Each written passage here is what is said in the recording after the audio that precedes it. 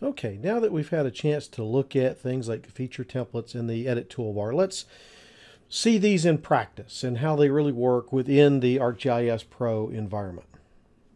Okay, so now we're in ArcGIS Pro and we're going to start by reviewing feature templates and how they fit into the edit scheme, how they work and, and those kind of things. So uh, again, we're going to go up here to the edit tab in the ribbon and to access the feature templates, we need to click on the Create button here in the Features group. This is going to open the Create Features pane. And in here you'll see all of the available feature templates that we can currently use to create new features. It's important to remember that in order to create new features from scratch, you must have a feature template. And there are several reasons you might not see a feature template located over here in the Create Features pane. First is the layer may not be visible. So we uh, see that the power poles and the light poles both here are not visible and we don't see a feature template over here. So if we turn those on, we may see them. Now we don't, they did not come on and there another or there are other reasons why that may be. The next reason is probably because they're not editable. And you can see here I've gone to the list by editing button in the contents pane and you can see that both the light poles and the power poles are not editable. So if I click there, now they're listed as editable and you can see their associated feature templates have popped up over here in the Create Features pane.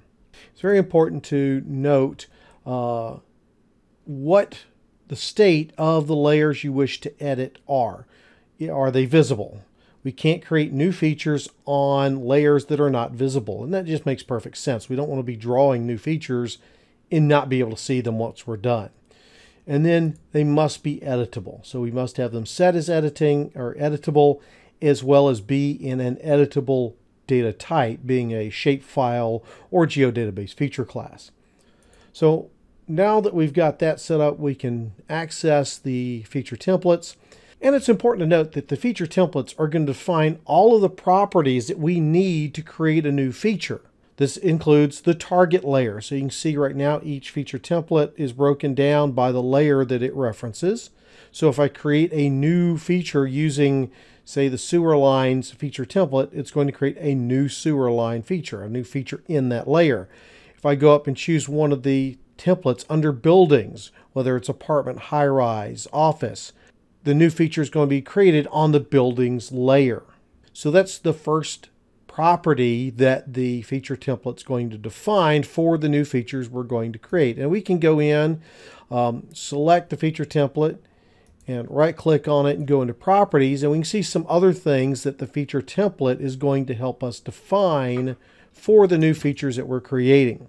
There are also general properties associated with the template itself. So first we're going to have a name, right? So this is apartment uh, again, we can name it. This is tied back to what the, the label is for the symbol over here in the table of contents. I can fill in some basic metadata like the description and tags. You'll notice that the Create Features pane over here has a search function. So if we have a, a map that has multiple layers and multiple templates, sometimes it can be hard to locate the one we're looking for, so we can search. And again, those tags are keywords that we can use. We can then also control what drawing tools are allowed for creating new features in this uh, or using this template. So in this case, we're creating buildings. So we certainly want to be able to draw a polygon. Uh, we're in an urban area where we might actually have connected buildings, buildings that are directly adjacent to one another. So sure, autocomplete polygon makes sense. Buildings tend to have right angles. So yes, we want to allow that tool. Uh, some buildings can be circular, can have some sort of tower attached to it or whatnot. So sure, we'll allow that tool. And certainly they can be just plain rectangles or squares, so we'll allow that. Uh, very few buildings are ellipsoidal in shape, so we're going to not allow that tool to be used. We've unchecked it. So users, when drawing a new building, cannot use an ellipse. Uh, we don't want buildings to be free-handed, meaning that as I move my mouse, it just draws. Uh, buildings tend to be more structured than that, so we don't want users to use that option. And we don't uh, want them to use the freehand autocomplete polygon tool for that very same reason. Now, the building may be based off of another feature, such as maybe the parcel itself. So, sure, we'll allow the use of the trace tool. Create substructures. Again, this is for showing something that's based off something else. So, uh, this is a new tool that was added fairly recently um, in there. And maybe we can do difference polygons. Maybe we're cutting this building out of an existing one or something along that nature, been separated somehow.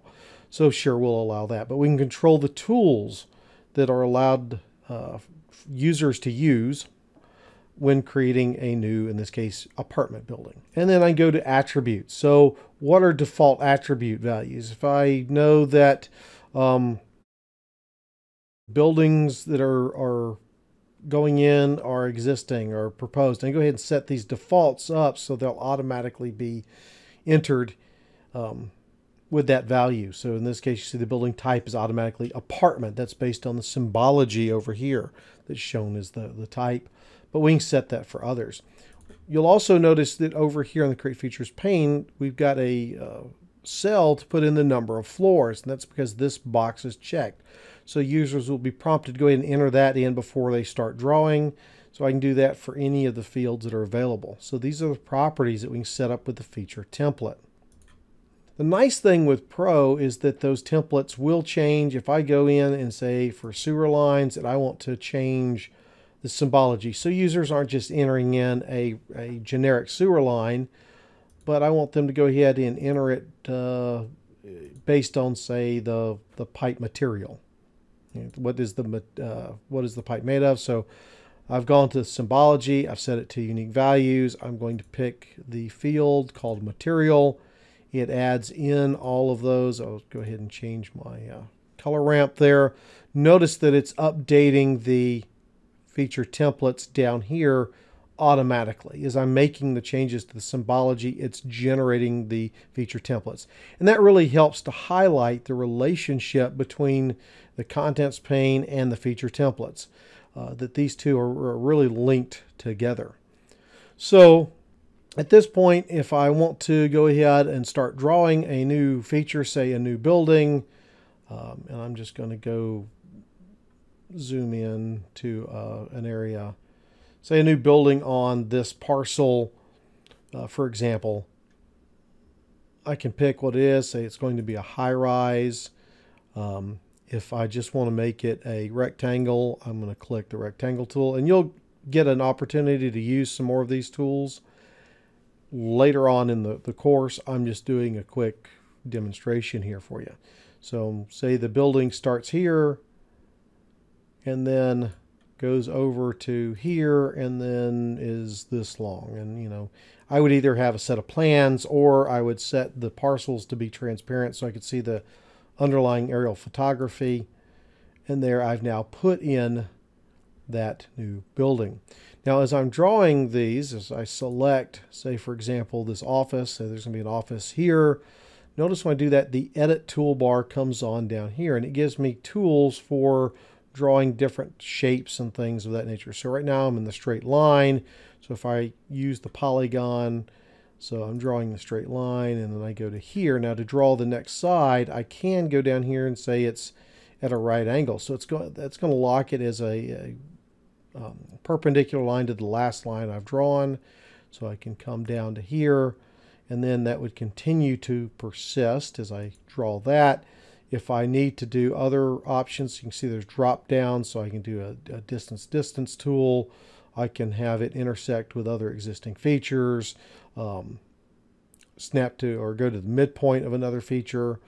I can also get into draw curves, which we'll be talking about later uh, as well in, in this course. So various curve tools to draw those. And then here's things like the trace tool or um, streaming tool, which is kind of a freehand function. So tracing other existing features is all here. So we can get in and look at that. So I'm going to go back up here with my, uh, keep my align tool, but that looks good. So I'm going to go ahead and finish that sketch and hit F2. And there is my new office building. So I've gotten that drawn. I've used some of the tools from my edit toolbar down here. And now I'm ready, since I've drawn these, to begin updating the attributes. And there's a couple ways I can, can do that. Uh, with this selected, I go back to my Edit tab and click the attribute buttons up here in the selection group on the Edit tab.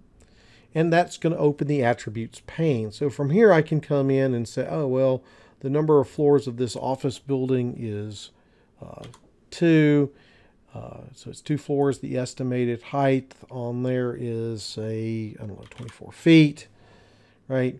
And the building status is this is a proposed. We'll go ahead and make it that's a proposed building. It hasn't been built yet. It's just proposed, but we're going ahead and setting up.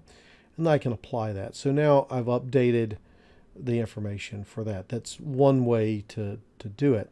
I can also, I'm going to close this pane for just a second, uh, go in, I'll select the building we drew over here, and then open the attribute table itself so I can go through the attribute table here and set it to show just the selected feature there.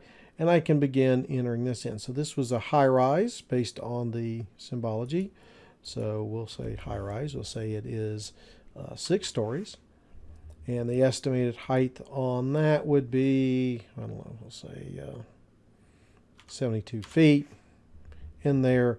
And so I'm actually in the table updating the attributes directly in the attribute table. So you can either use the attribute pane or the table to update the attribute information for the features that you're working with. Okay. Go ahead and clear that selection. Now you'll notice that when I was editing in the table itself, I didn't have to apply the update. Unlike the attributes pane, I had to apply that. So one thing we can do, I'm going to close the table really quick, is go in and make changes to multiple features. So I'm going to go in really quickly, set the buildings uh, as my only selectable layer for the sake of simplicity, and say that all of the these buildings right here, I've got three selected, say I need to update the attributes for all three of those. So I'm going to I'm going to change the status. So I'm going to go up here to buildings up here.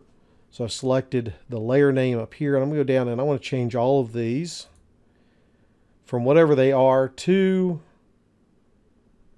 unknown. And I apply that.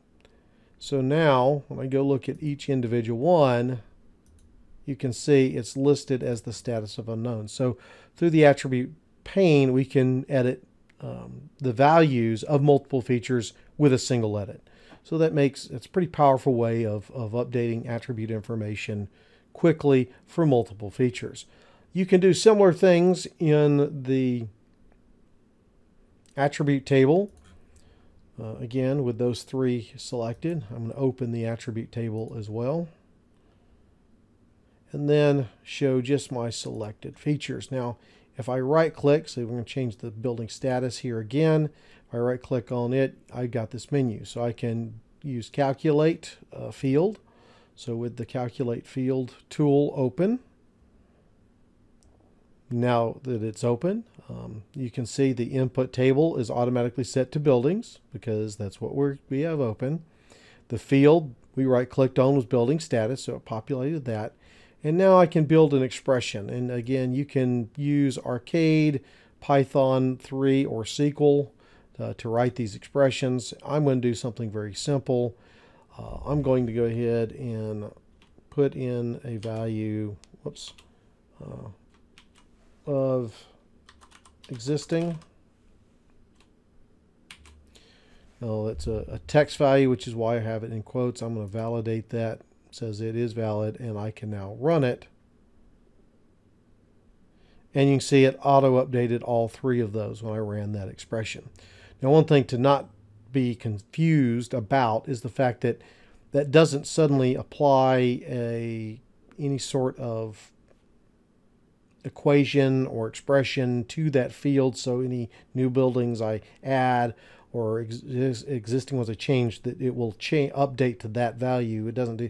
This is a one-time shot uh, when you do that, but it is a very powerful tool.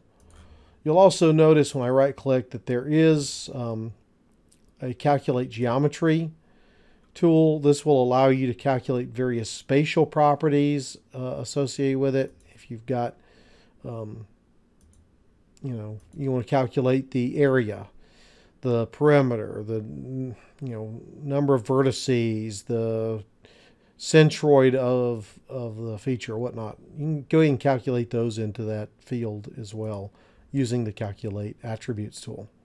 And again, um, when doing it from the table here, it's going to calculate all of those for the various selected features. So there's a quick review of feature templates, how they work, how they get created, uh, as well as how to edit attributes. So I hope you found that very helpful uh, and gave a better understanding of the concepts we talked about in the, the lecture. Uh, if you do have any questions, feel free to reach out to us and we'll answer them as soon as we can. Thank you.